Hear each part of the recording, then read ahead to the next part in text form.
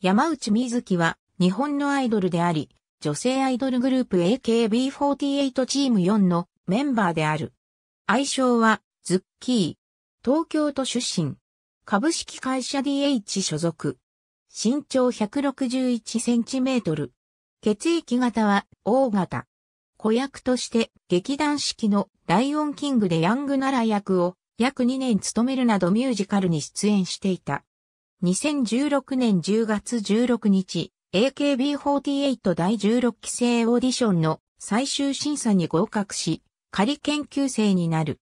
同年12月8日、AKB48 劇場で開催された AKB48 劇場オープン11周年特別記念公演で最終セレクションを突破した16期研究生19人の一人としてお披露目された。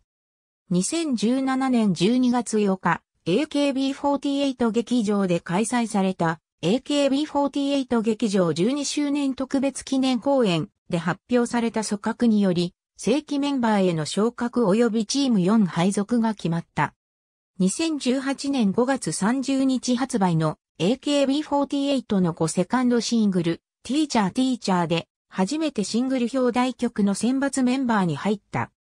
同年6月6日に行われた AKB48 村山チーム4手をつなぎながら公演の初日公演では公演で主にセンターに立つ松井樹里奈のポジションに抜擢された。同年に開催された AKB48 5サードシングル世界選抜総選挙において92位となり第10回世界選抜総選挙記念枠に選出された。2019年には坂道 AKB 第3弾のジワルデイズカップリング曲初恋ドアを歌唱するメンバーに選ばれた。2020年1月20日、3月18日発売の AKB48 の5セブンスシングル、失恋、ありがとうで、初のシングル表題曲のセンターポジションに抜擢されることが発表された。同年1月26日、東京ドームシティホールにおいて、初のソロコンサート、AKB48 山内随葵ソロコンサート、マイレボリューションを開催した。同年2月22日、渋谷ストリームで開催された 2020AKB48 新ユニット。新体感ライブ祭り初日公演で、小栗ウイラ美少女5人組ユニット、ナインルのメンバーとしてパフォーマンスを披露した。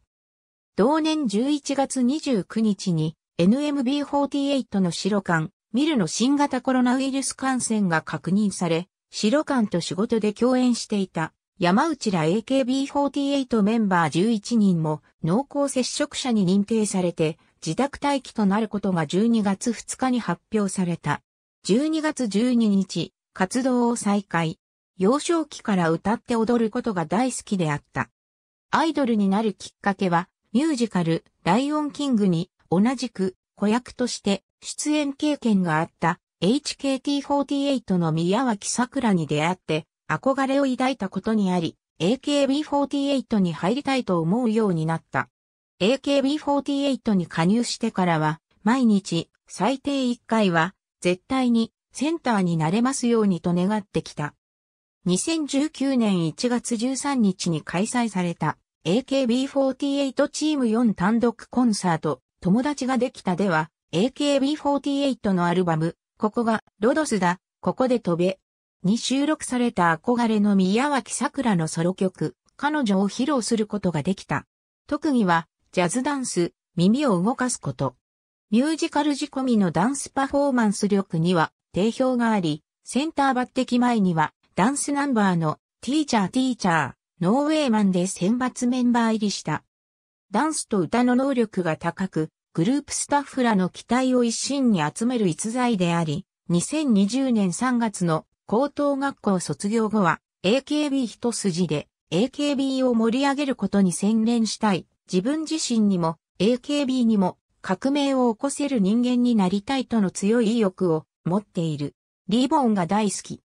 リボン好きを公言してきたことから、失恋、ありがとうのミュージックビデオの衣装には、ベルエボの後ろや胸元などにリボンが付けられたほか、メンバーの衣装にもリボンが付けられた。好きな料理は中学生の時に給食で一番好きな献立だった、キムチチャーハン。好きなスイーツは、クッキーとアイスクリーム。食べることが大好きだが、アイドルとしての食事制限もあるので、食べ物の画像を見ることで満足している。リスペクトしているアイドルは AKB48 劇場を強く愛し続けて、芯が強くメンバーに寄り添って優しい村山咲。グループの中で彼女にするなら隣にいるとずっと癒され、一緒にいると楽しそうな坂口渚。グループの中で彼氏にするならしっかりしていて積極的に計画をしてくれ、リードしてくれそうな同期の浅井七海。長所は姿勢が良いとよく言われるところで、短所は人見知り。目標は AKB48 をよりたくさんの人に愛してもらえる存在にすること。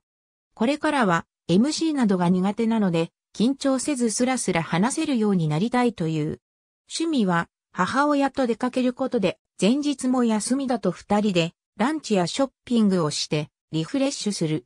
私服コーデはプライベートでも仕事の時でもワンピースが多い。朝起きたら必ずうがいをしてから白湯を飲み、夜寝る前には必ずコップ一杯のお水を飲む。落ち込んだ時のリセット方法は、なるべく一人でスッキリするまで泣くこと、いっぱい寝ること。幸せを感じる瞬間は、美味しいご飯を食べている時と家族で大爆笑している時。優柔不断で、弁当や洋服、何でも決めるのに時間がかかる。